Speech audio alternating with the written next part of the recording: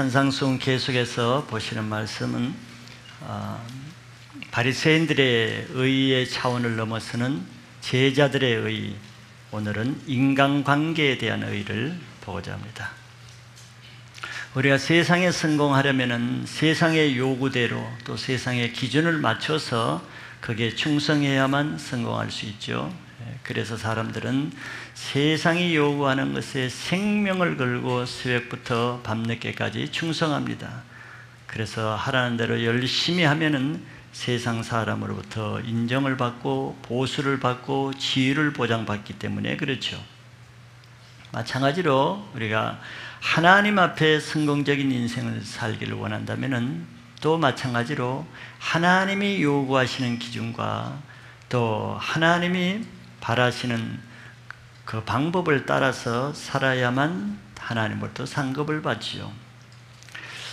그런데 우리가 하나님 앞에 상을 받으려 이렇게 교회를 다니면서도 종교인들이 범하는 하나의 실수가 뭐냐 하면은 자기의 삶은 세상이 요구하는 기준대로 살면서 그 대가 좋은 것은 하나님으로부터 받으려고 한다는 것입니다. 그러나 그것은 이루어질 수 없는 것이죠. 예수님이 바리새인들을 볼 때 바로 그런 모습을 보신 겁니다. 그들은 정말 열심히 살았죠.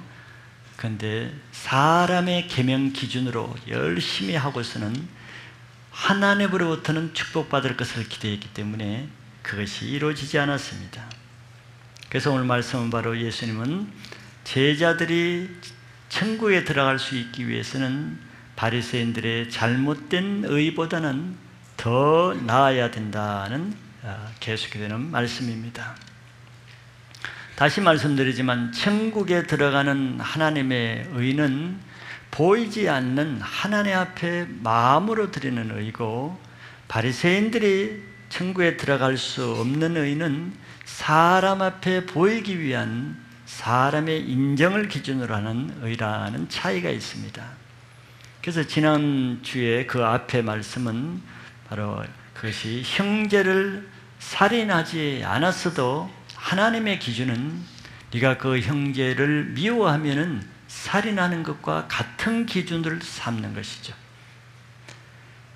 또 내가 형, 형제를 말로 욕하면은 바로 지옥의 심판을 받는 그런 기준이 아, 하나님의 기준입니다. 오늘은 바로 그런 차원에서 예수님께서 사람과의 관계에서 지켜야 될 의의 수준이 바리새인보다 어떻게 더 높아야 되는가 하는 것을 말씀하십니다. 이 말씀을 통해서 우리들이 지금 가지고 있는 내 신앙 수준의 한계, 내 수준 신앙 수준의 기준을 한번 돌파해서 하나님이 요구하시는 인간관계의 의를 가질 수 있는 기회로 삼으시기를 바라겠습니다. 먼저 첫째는 예배를 드리고자 할 때 예배자들이 가져야 될 의에 대해서 말씀하고 있습니다. 하나님이 받으시는 예배를 드리기를 원한다 그러면 당연히 하나님이 예배자에게 요구하는 기준에 맞춰서 드려야 될 것입니다. 그래야 예배 시간이 헛되지 않고 예배 드리는 그 예배자의 시간과 물질과 마음이 헛되지 않겠죠.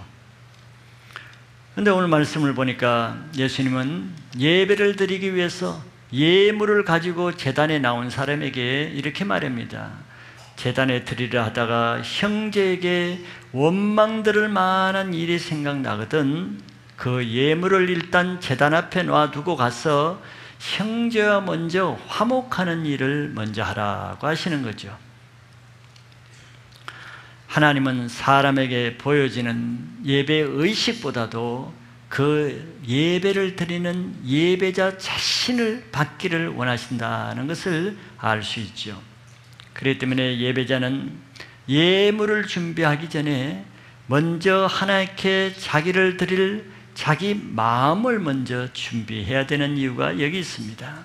왜 하나님은 주일이라고 해서 꼬박꼬박 예배 자리에 교회당 자리에 앉아 있다고 해서 그 사람이 예배를 다 받는 것은 아니죠. 그래서 우리가 예배 한 번을 잘 드리기 위해서 바로 토요일 날 예배자가 되기 위해서 예배자의 흠이 없기 위해서 준비를 해야 되는 이유가 여기 있는 것이죠. 근데 예수님 왜 이런 말씀을 하시겠습니까? 바리새인들은 잘못된 예배에 대한 의의를 가지고 있기 때문에 이 말씀을 하시겠죠. 바리새인들이 예배를 준비를 어떻게 합니까? 그들은 물론 안식일이 되면 그 전날부터 아주 경건하게 준비합니다. 그래서 예배가 있게 되는 날은 사람에게 보이기 위해서 아주 화려하고 깨끗하고 좋은 거룩한 옷을 입고 또 좋은 예물을 준비해서 하나 앞에 드리면은 그건 아주 좋은 예배자가 되는 것이었죠. 물론 잘못된 것은 아니죠. 그런데 예수님은 뭘 보시겠습니까? 그들이 나오는 좋은 옷을 보고 또 좋은 예물을 보시겠습니까? 물론 그것도 보지만 그 사람의 동기와 그 마음을 보시죠. 그래서 그들은 좋은 옷을 입고 좋은 예물만 드리면은 비록 그 마음에는 형제를 미워하고 아침에 예배 나올 때 서로 부부가 싸우고 말다툼해서 인상을 쓰고 나오다가 교회 문에 들어올 때 활짝 웃고 들어오면 아무 문제가 되는 게 아니죠. 그냥 의식을 잘 행하면 예배 아무 문제가 되지 않습니다. 근데 주님이 보시는 기준은 다르죠. 그 마음 중심을 보시는 거죠. 하나님은 예배자의 예물만 보는 것이 아니라 예배자 자신을 받으시기를 원합니다. 구약에서 예배는 어떻습니까? 구약의 예배는 사람들이 재물을 가지고 재단에 드리는 것이 가장 중요한 요소였습니다. 그래서 양을 드리기도 하고 또 소를 드리기도 하는데 중요한 것은 준비된 예물을 드려야 된다는 것이죠. 집에 내가 양 열마리를 키운다고 해서 그 중에 아무 양을 드린다고 해서 예배가 되는 것이 아니고 흠없고 점없는 양이라야 받으시는 거죠. 그래서 흠 있고 점 있는 재물을 드리지 않기 때문에 우리는 흠없고 점 없이 키우는 양을 미리 준비해야 되는 재물을 미리 준비해야 되는 거예요. 그래서 하나님은 우리의 가장 정결하고 우리가 가진 모든 양떼 중에서도 가장 흠없고 거룩하고 깨끗하고 좋은 것을 드리길 원하시는 것이 예배 우리 마음의 자세였습니다. 근데 신약에 와서는 예배 형식이 조금 달라졌죠. 우리는 오늘날 더 이상 양으로 교회에 와서 제물을 드리지는 않습니다. 왜냐하면 예수님이 이미 어린 양으로 십자가에 단번에 우리가 드릴 제물이 되셨기 때문에 더 이상 우리는 그렇게 할 필요가 없는 것이죠. 그 대신 신약의 예배는 영으로 드리는 예배입니다. 물질로 보이는 짐승으로 드리는 것이 아니죠. 그래서 예배는 이제 신약에서는 예배자 자신이 제물이 되는 것입니다. 그러면 예배는 우리의 온 마음과 뜻과 힘과 목숨을 다해서 우리의 삶 자체를 드리는 것이 제물이 되는 것이죠. 로마서 12장 1절에 그것을 신약의 예배를 이렇게 표현하고 있습니다. 그러므로 형제들아 내가 하나님의 모든 자비하심으로 너희를 권하노니 너의 몸을 하나님이 기뻐하시는 거룩한 산 제물로 드리라. 이는 너희가 드릴 영적 예배니라 그랬어요. 신약에서는 영적인 예배를 드리는데 그것을 어떻게 드리는 것인가? 우리 자신을 제물로 드리는 거예요. 근데 구약에서도 모든 양이라고 해서 다 제물이 되는 것은 아니잖아요. 흠없고 점없는 거룩한 양만 드릴 수 있듯이 신약에서도 마찬가지인 거예요. 너의 몸을 드리긴 드리는데 조건이 있어. 어떤 조건? 하나님이 기뻐하시는 거룩한 제물이라야만 되는 거예요. 그래야 하나님이 받으시는 영적 예배가 될 수 있다는 거죠. 그래서 하나님은 우리가 예배를 드린다고 다 나와 있다고 해서 받는 건 아니죠. 가인의 예배를 안 받으시고 아벨의 예배를 받으신 데서 이미 하나님은 예배가 어떻게 되어야 되는가 그것을 가르쳐 줬습니다. 이미. 이것을 아는 사단은 우리가 하나님께 온전한 예배를 드리지 못하게 많은 방해를 하죠. 그것은 바로 죄를 통해서 우리 몸에 흠집을 내는 것입니다. 더러운 재물, 흠 있는 재물, 악한 재물로 망가뜨리는 거예요. 그래서 우리 마음속에 하다는 형제를 인해서 노하는 마음을 품게 하고 형제를 마음으로 미워하는 말을 하게 함으로 우리가 더러운 재물이 되게 만든단 말이죠. 그래서 이런 흠 있는 몸을 하나님의 재단에 올려놓을 수가 없는 거죠. 누가 그랬습니까? 사단이 우리가 하나님께 예배자로 나가지 못하게 이미 예배 나가기 전에 우리 마음을 다 망가뜨려 놓는 거예요. 토요일 날 늦게까지 영화를 보고 친구를 만나서 세상 일을 하게 하고 주일날 아침에는 늦게 일어나서 자기 할 일을 다 하고 자기 몸을 더럽게 세상에 더럽게 만들어 놓고 주일날은 그 더러운 몸을 가지고 준비할 새도 없이 나오게 만드는 거죠. 그래서 하나님이 받지 않는 그런 몸으로 예배를 드려보세요. 하나님의 말씀이 깨달아집니까? 하나님의 임재가 느껴집니까? 하나님의 은혜가 있습니까?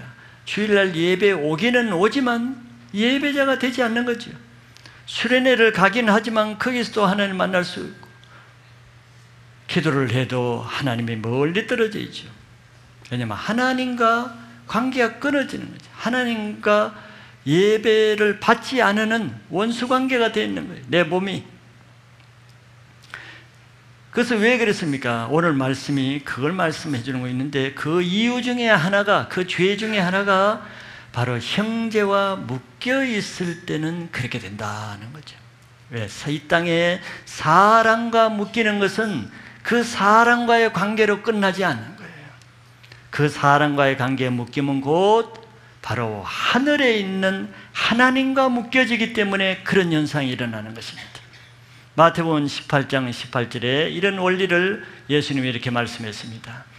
같이 한번 읽어보실까요? 시작. 진실로 너희에게 이르노니 무엇이든지 너희가 땅에서 매면 하늘에서도 매일 것이요 무엇이든지 땅에서 풀면 하늘에서도 풀리리라. 아멘. 이게 땅에서 일어나는 일이 하늘로 직결되는 거예요. 이게 중요한 영적인 원리입니다. 그러니까 무엇이든지 너희가 땅에서 매이면은 땅에서 매이는 것으로 끝나는 것이 아니고 그것이 하늘에서도 그대로 매인다는 거예요. 또 땅에서 무엇을 풀면은 그걸로 끝나는 것이 아니고 하늘에서도 풀려진다는 거예요. 사단은 이 원리를 잘 알고 있기 때문에 우리가 하나님과 묶이게 하기 위해서 이 땅에서 사람과 묶이게 만드는 일을 하는 것입니다. 그래서 우리는 이 땅에서 사단이 묶어 놓은 것을 풀어야만 하늘에 묶인 하나님과 관계가 풀려진다는 것을 믿으시기 바랍니다. 사단은 우리 죄를 통해서 사람과 묶이게 하는 거예요. 얼토당토하는 죄들이 사실 많지요. 상처를 받고 섭섭한 감정을 가지고 오해를 하게 하고 여러 가지 일들로 사람과 하여튼 나쁜 관계를 만들지. 얼토당토 한다는 것은 묶일 일이 아닌데 묶인단 말이죠. 개인 남이 잘 되면 묶여요. 남이 잘 되니까 시기 나고 기분 나쁘고 질투가 나고 그게 어디 묶일 일입니까? 남 잘 되는데 왜 묶여요? 이게 사단이 하는 일이란 말이에요. 그 사람이 잘못한 게 아무것도 없어. 그냥 하나님이 잘 되게 하는데 내가 그 사람 보고 묶이는 거예요. 이게 사단이 하는 일입니다. 남의 허물을 드러내서 말하니 다른 사람의 죄를 용서하지 못하고 아무리 주일날 사랑하고 용서하라 해도 아무 상관없죠. 그게 묶인 사람의 현상입니다. 그 목적이 뭐겠습니까? 사람과 묶이는 것으로 그냥 끝나게 그런 차원이 아니고 하나님과 관계가 끊어지게 하는 목적이에요. 그래야 그 영혼이 죽기 때문에.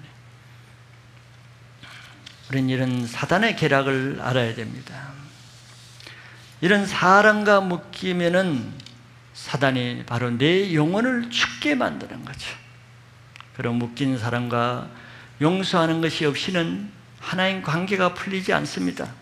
저 영적으로 믿음과 신앙과 영적인 것이 풀어지지 않는 아주 중요한 원인은 바로 땅에서 사람과 묶여 있는 경우이죠.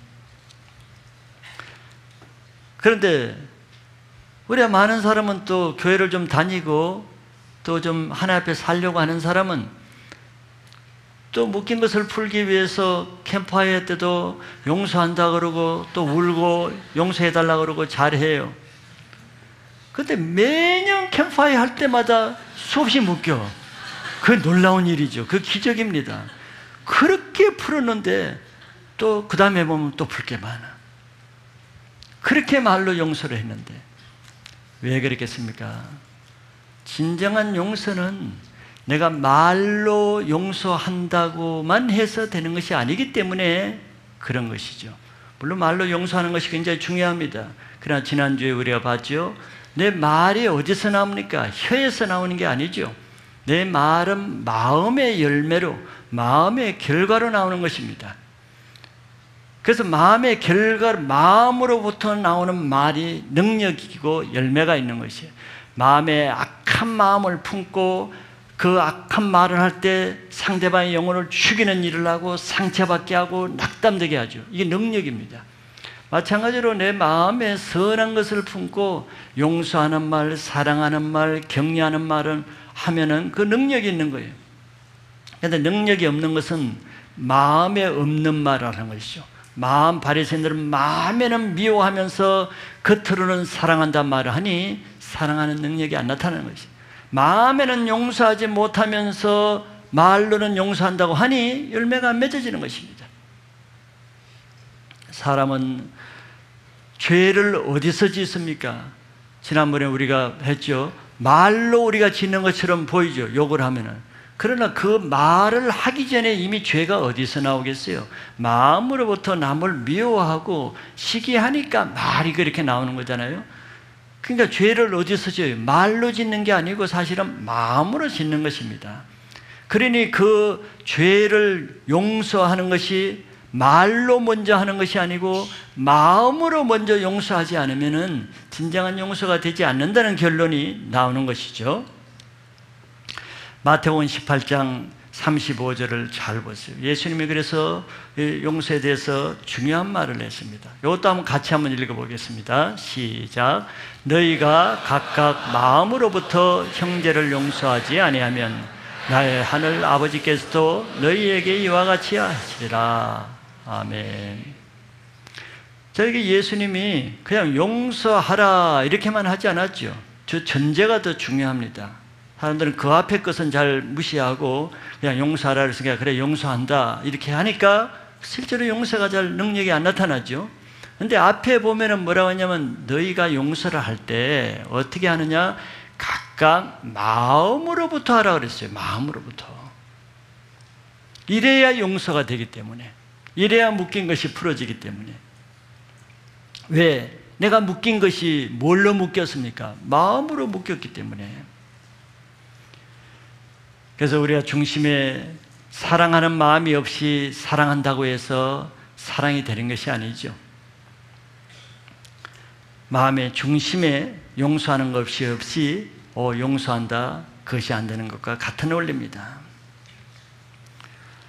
많은 사람들은 뭐 묶이지 않은 일이 없을 수가 없죠. 어, 그러면 사단은 해고됩니다. 네.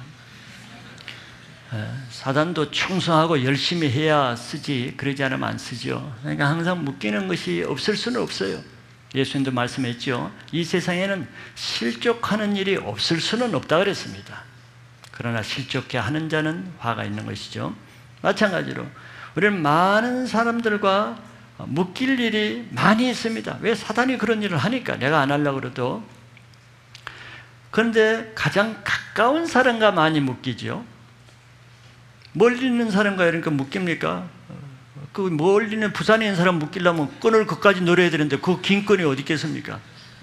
가까운 사람과 묶이는 거예요. 자기 가족들, 가까운 자기 교회 셀 식구들, 또 직장에서 가장 가까운 사람들 이런 사람들과 묶이죠. 왜 그랬습니까? 바로 그 사람이 자기에게 굉장히 소중한 존재고 나에게 굉장히 중요한 위치를 가지고 있기 때문에 사단이 그것을 못하게끔 가까운 중요한 사람과 묶이게 하는 거예요. 세례에서도 마찬가지고. 그래서 많은 사람들은 가장 가까운 가족 안에 그 정말 사랑하는 가족 안에 묶이죠. 남편과 아내가 묶이고 형제끼리 묶이고 부모 자녀 간에 묶이고 중요하기 때문에 그리고 같은 교회를 다니면서 누가 묶입니까? 진짜 셀에서 같이 깊이 동역해야 될 리더와 동역자가 묶입니다. 또 목회자와 중요한 또 리더가 묶여요. 직장에서도 꼭 내가 정말 중요하게 관계를 하고 도움도 받고 도움도 줘야 될 이런 상사나 이런 사람과 꼭 묶이는 거예요. 그런 걸 볼 때 이거는 하나님이 하는 게 아니고 이 나쁜 사단이 하는 것이라는 것을 우리는 알 수가 있는 거죠. 그래서 특별히 우리가 간정이나 수련회 끝나면은 뭐 회개 간정을 들어보면 많은 사람들이 그 묶인 것에서 풀어나는 이런 감정들이 있는데 그 중에서 많이 걸리는 것이 주로 부모에 대해서 많이 묶인 것이 나오죠. 특별히 어릴 때 어, 자기 부모가 자기에게 학대를 하고 술을 드시고 폭력을 행하고 또 용서하지 못할 악행을 그 자녀에게 행하고 왜 그렇게 많이 묶이겠어요? 그 자녀에게는 그 어, 부모, 부모와 어린 그 시절에 가장 중요한 시절에 친밀한 관계성과 인격 형성에 되는 그 중요한 시기이기 때문에 사단이 그 시기에 꼭 그렇게 상처를 주고 나쁜 상을 만들어서 묶이게 만든다. 그러면 그 사람이 평생 결혼하고 후에도 계속 묶여 있는 경우가 많지요. 그 부모의 학대를 용서할 수가 없어서 생각만 해도 도저히 용서할 수 없는 그래서 묶인 채 있으면은 땅에서만 그 부모와 묶입니까? 그러면 별일이 없죠. 그 부모와 묶인 그것이 교회에 오면 교회 지도자와 묶이고 직장에 가면 직장 권위자와 묶이고 그 땅에서만 있습니까? 그것이 바로 하나님과 묶여버리는 거예요. 그러니까 교회 와서 예배는 드리는데 하나님의 사랑이 느껴지지 않고 하나님의 말씀이 신뢰가 되지 않고 하나님이 믿어지지 않는 것이죠. 이 사람은 어떤 생각으로 살아가겠습니까? 자기는 늘 부모에게 피해자라는 생각을 가지고 살아가겠죠. 그래서 자기 부모가 언젠가는 정말 자기에게 와서 눈물을 흘리며 용서를 구해야 된다는 생각으로 살아갑니다. 그러기 전에는 용서해 줄 수가 없다는 생각을 가지고 있는 거죠. 그래서 그런 사람은 매년마다 가정의 달에 부모를 공경하라, 부모를 순종하라, 또 용서하라는 말을 들을 때 어떻게 되겠습니까? 자기 죄가 생각이 되겠습니까? 화가 나고 그런 말씀을 하는 하나님까지도 믿고 그런 말씀을 하는 교회가 싫고 그런 말씀 자체에 대해서 분노가 생기겠죠. 자기 죄를 깨닫지 못함으로 인해서 늘 상대방의 죄에 대해서 그 부모의 죄에 대해서 자기 의를 주장하기 때문입니다. 정당한 의라고 생각하는 거지. 그래서 정당하게 자기는 자기 부모를 미워하고 자기 부모를 쌀쌀하게 대하고 존경하기보다 무시하고 순종하기보다는 상처 주는 말을 하고 이런 것을 하면서 죄책감이 없죠. 자기 의입니다. 나는 우리 부모에 대해서 그런 마음을 가지고 권리가 있다는 거죠. 그러나 우리가 알아야 될 것은 하나님 편에서는 그 부모가 자기 자녀를 학대한 죄나 그 자녀가 그 부모를 용서하지 못하고 공경하라는 말씀을 순종하지 못하는 죄를 똑같이 봅니다. 죄는 똑같은 거예요. 말씀에 비춰보면. 또 부모가 자기 죄를 회개하지 못하고 있는 것이나 그 자녀가 자기가 부모에 대한 자기 죄를 회개하지 못한 것이나 똑같은 죄입니다. 부모만의 죄는 아니죠. 근데 사람은 이것을 잘 모르죠. 용서의 원리를 모르는 거예요.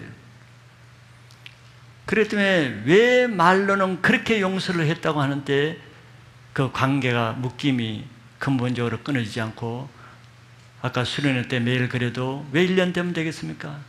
그때는 용서가 되지만 같은 사건을 또 만나면 또 묶이는 거예요.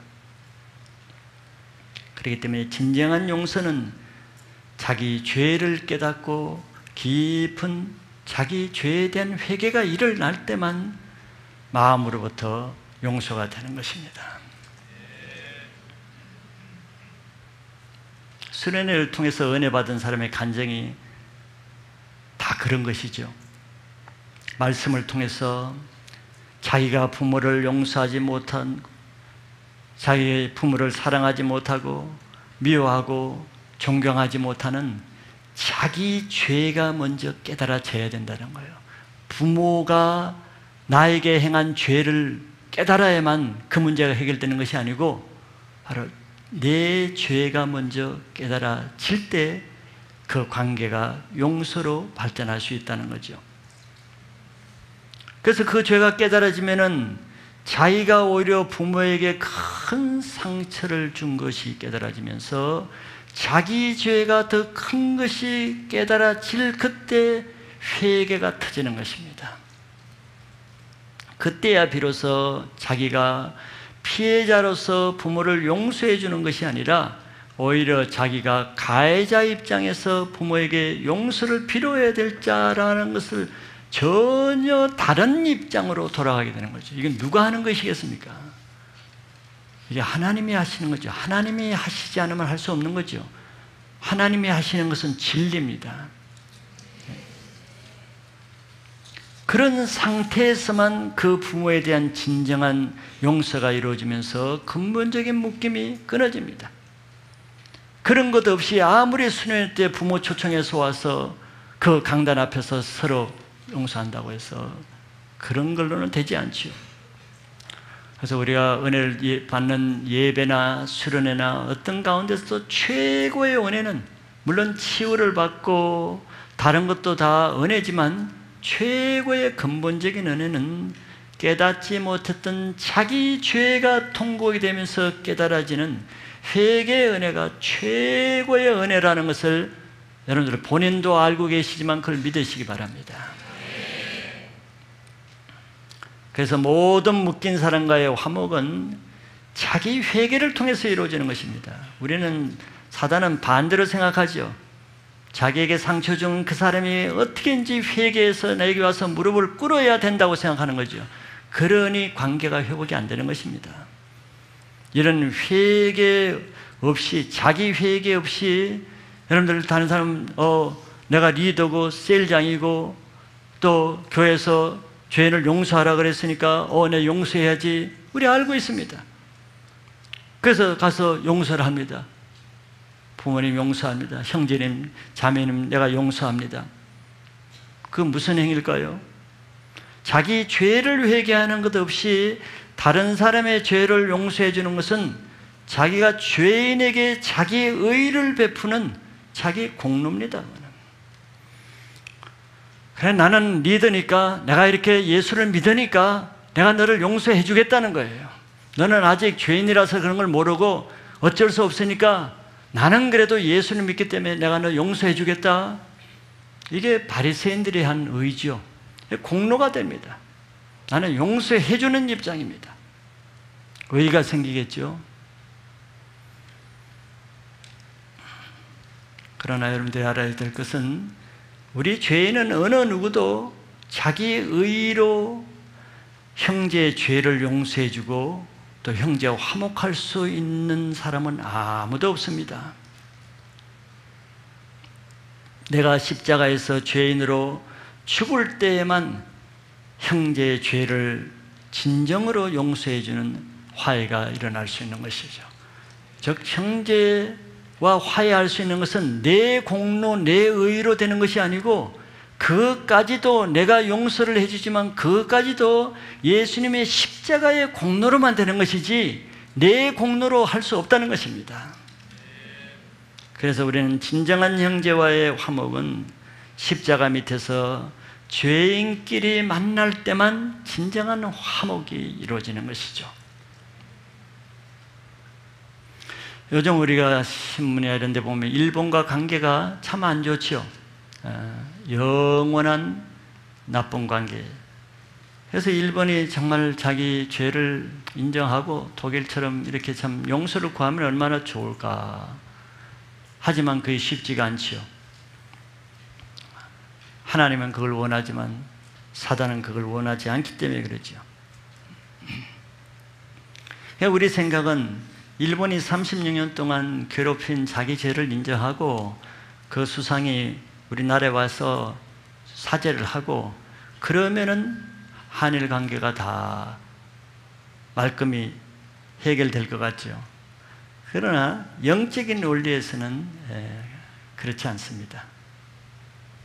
영적인 원리에서는 우리가 말씀을 본 대로 정말 일본 사람이 먼저 무릎을 꿇고 용서하면 해결되는 것이 아니고 우리도 36년 동안 괴롭힌 그 일본 사람을 용서하지 못하고 사랑하지 못하고 미워하고 정죄하고 판단한 그 죄를 형제의 그 죄를 먼저 용서하는 것 그것이 있어야 되는데 그것은 바로 우리들의 죄가 먼저 회개가 될 때 진정으로 그 문제가 해결되는 것이지 계속 죄 지은 자에게 용서하라 무릎을 꿇으라 아, 그렇게 해서 화해는 이루어지지 않습니다.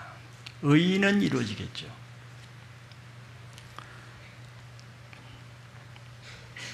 바로 이런 것은 남편과 아내 사이 또 형제들 사이 부모와 자식 간에도 똑같은 것입니다. 왜 관계가 회복이 안 되겠습니까? 누구 때문에? 가해자들 때문에 회복이 안 된다고 생각하죠. 그러나 영, 그거는 바리새인들의 의의 기준에서는 그렇고 하나님의 십자가의 의의 편에서는 반대입니다. 피해자들 때문에 화해가 안 이루어집니다. 피해자는 자기 의를 가지고 있는 이상은 진정으로 가해자를 용서할 수가 없기 때문이죠. 예수님은 십자가에서 피해자로 돌아가 있습니까? 가해자로 돌아가 있습니까? 예수님은 피해자로서 우리에게 죄 지은 자를 용서해 달라고 하면서 돌아가신 거죠. 늘 사람과 잘 묶이는 사람은 바로 이런 문제가 아직 돌파되지 않고 해결되지 않는 낮은 차원에 있기 때문에 그렇다고 할 수 있습니다. 바로 늘 묶이면서 그 묶임에서 풀려나오지 못한 사람은 아직 교회를 다니건 직분이 높건 상관없이 아직 예수 그리스도의 십자가의 용서의 능력을 체험하지 못하기 때문에 그런 차원에 있는 것입니다. 그것은 바로 아직 자기가 십자가 아래서 죄인이 되지 못한 상태에 있기 때문에 아직도 의인의 상태에 있습니다. 자기 죄를 보지 못하고 자기 죄를 회개하지 못한 사람은 그 벽을 넘을 수가 없기 때문이죠. 그리고 오늘 예수님은 또 어, 내가 그런 묶인 관계가 있으면은 누구에게 가서 그 문제를 해결하라 하냐면은 당사자에게 가서 그 문제를 해결하라 했습니다. 사람이 어려움이 들고 또 억울한 일이 생기면은 어, 자기 속에 있는 것이 나타난다 그랬죠. 그러면 어떤 사람은 자기가 어려우면은 하나님을 찾아가는 사람이 있고, 즉 기도실로 찾아가고 말씀이나 예배로 찾아가는 사람이 있고, 어떤 사람은 사람을 찾아가는 사람이 있죠. 그때 찾아가는 사람이 바로 자기와 같은 영을 가진 사람이죠. 영맥을 따라서 가기 때문에 평소에는 모르던 것이 그 사람이 어려울 때 누구와 통화를 하고 누구를 만나는가 보면은 그 사람이 뒤에서 후원받고 영향받는 사람이 누군가를 알 수 있다고 말할 수 있습니다. 그건 같은 영을 가진 사람을 찾아가게 되는 거예요. 우리의 문제는 사람의 어려운 문제는 그것을 풀라 그러면은 본질적으로 자기 죄라는 관점에서 생각하는 사람은 쉽게 풀 수 있습니다. 그러나 풀지 못하는 사람은 대부분 반대로 생각하죠. 저 사람 때문에 내가 이 문제를 가지고 있다. 그래서 그 사람, 저 사람 때문이라 그런 사람은 반드시 사람을 찾아가게 되어 있습니다. 사람에게 자기를 하소연하고 자기의 억울함을 하소연하기 위해서 하는데 그 사람이 그 사람에게 가서 무슨 말을 하겠습니까? 자기가 옳다는 것을 얘기하고 상대방이 얼마나 나쁜가를 말하겠죠. 계속 상대방을 고소하겠죠. 그러니 그 사람 안에는 그렇게 많은 말을 할수록 자기 의가 생깁니다. 그리고 상대방은 계속 죄인 되게 하는 거죠. 그래서 사람과 점점 더 묶임으로 그는 하나님 앞에 일말에 자기 죄를 볼 수 있는 기회를 사단에게 다 빼앗겨 버리는 거예요. 교만한 사람은 그래서 자기의 억울한 의를 주장하기 위해서 사람을 찾아가죠. 그러나 겸손한 사람은 어려운 사건을 만나서 자기를 돌아보고 자기 죄를 바라보기 때문에 하나님 앞에 나가게 됩니다. 이것이 차이예요. 사람 문제를 가지고 사람의 위로를 받고자 사람에게 나가면은 하나님의 위로를 거절받게 됩니다. 하나님은 그 사람과 상관하지 않죠. 하나님보다 사람을 더 의지하니까. 그러나 하나님 앞에 사는 사람은 문제를 사람에게 말하지 않습니다. 그것은 자기 죄를 더하는 것을 알기 때문에 하나님께만 나가죠. 그래서 하나님께 나가는 사람에게 주로 하나님은 어떻게 합니까? 나갈 때는 속상하죠. 그러니까 하나님께 나가는 사람에게는 하나님은 사람에게 나가는 사람은 계속 상대방의 죄를 다 보여줍니다. 그래서 계속 상대방의 죄를 사람에게 고발하죠. 근데 하나님께 나가보세요. 하나님께 처음에는 기도를 해서 하나님, 저 못된 사람이 있다고 지설 했습니다. 처음에는 그렇게 하지, 못 모르고 이제. 하다 진실로 정말 하나의 마음을 만나면 어떻게 합니까? 하나님은 그래 맞다. 저놈은 참 못된 놈이다. 그래도 나는 너를 사랑하니까 괜찮다. 이렇게 합니까? 음, 마귀가 속이는 거죠. 대부분 우리의 경험은 내가 99%를 잘한 것을 의를 가지고 나가도 하나님은 나의 죄를 보여주십니다. 이건 하나님만이 하시는 거예요.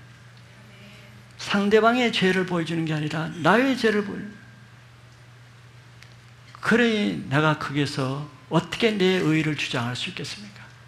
하나님 내 죄를 보여주는데 이게 그러니까 여기에서 회개의 영이 임하고 회개의 영이 임하니까 내 안에서 이미 하나의 관계가 회복되고 사람과의 관계가 끊어지는 것입니다.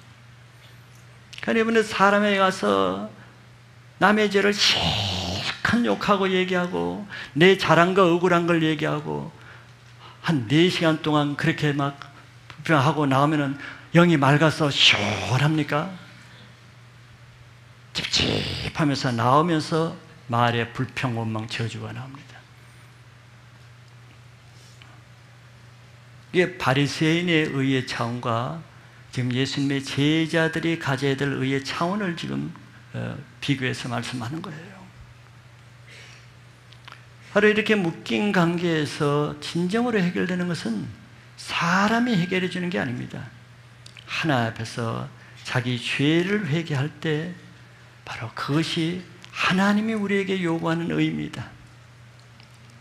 그런 자에게는 사단이 어떤 묶음으로도 우리를 공격할 수가 없죠.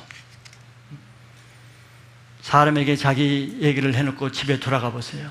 계속 4시간 동안 그렇게 그 문제를 얘기해놓고 돌아가면은 밤에 4시간 동안 자기가 시달리게 됩니다. 바리새인의 의는 특징이 뭐겠습니까? 늘 자기 잘한 것만 보는 거예요. 자기 잘한 것만 생각하고 그리고 늘 상대방의 잘못한 것만 보는 것입니다. 그걸 누가 알았겠습니까? 예수님이 아셨죠. 그래서 바리새인이 세리가 똑같이 자기 마음의 문제를 가지고 성전에 기도하러 갔다. 바리새인들은 두 손을 높이 기도하면서 내가 이렇게 이렇게 잘한 거 자기 잘한 것밖에 안 보이는 거예요. 자기 잘한 것만 쭉 얘기하고 나는 저 세리와 같지 않음을 감사합니다. 자기 의를 실컷 말하는. 근데 바리새 아 세리는 자기 잘한 것이 안 보이고 자기가 죄인인 것을 막 가슴을 치면서 나는 죄인이로소이다. 누가 하나님과 관계가 회복되겠습니까? 예수님의 비유를 하신 거죠. 하나님이 받으시는 의는 겸손한 자에게 주시는 회개를 통해서만 주어집니다. 자기 의를 주장해서는 하나님과 관계는 오히려 더 끊어지는 거예요. 하나님이 받으시는 예배자가 되기 원한다면 먼저 자기 죄를 회개함으로 땅에서 묶인 것을 먼저 풀고 예배 장소로 나올 수 있기를 바랍니다. 두 번째는 이제 자기 영혼을 지키는 의에 대해서 같은 맥락에서 예수님이 조금 더 말씀을 하시죠. 사람과 묶이는 문제는 단지 사람과의 관계 차원이 아닙니다. 그거는 영적인 차원의 문제죠. 왜냐하면 우리를 묶이게 하는 것은 그 사람이 아니라 그 사람과 나 사이를 조종하는 사단이 하는 것이기 때문에 이는 영적인 문제라고 말할 수 있는 거죠. 주로 사단은 우리 마음에 상처를 통해서 사람과 묶이게 만듭니다. 그 상처가 바로 사단이 만든 것이기 때문에 그렇죠.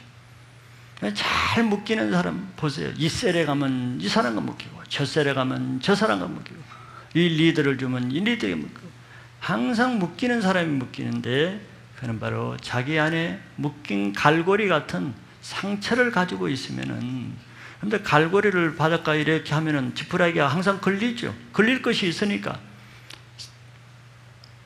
그래서 상처난 사람은 가정에서는 다른 가족과 묶이고, 직장에서는 직장의 동료와 묶이고, 교회에서는 리더와 통역자와 사람들 간에 묶이죠.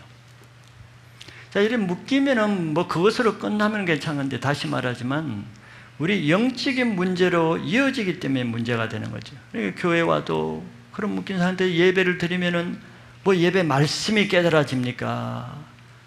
은혜가 있습니까? 자유함이 있습니까? 기쁨이 있습니까? 맹탕이죠. 그런 예배를 계속 드린다는 것은 얼마나 괴로운 것이. 그래서 예수님은 우리가 사람과 묶이지 않으려면 아, 자기를 고발하는 자와 함께 길에 있을 때 빨리 화해하라고 했습니다.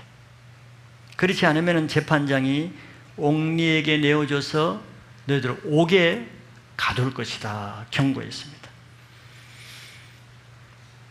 우리가 죄를 지으면은 죄 지은 그 사람의 영이 하늘에 고소를 한단 말이죠.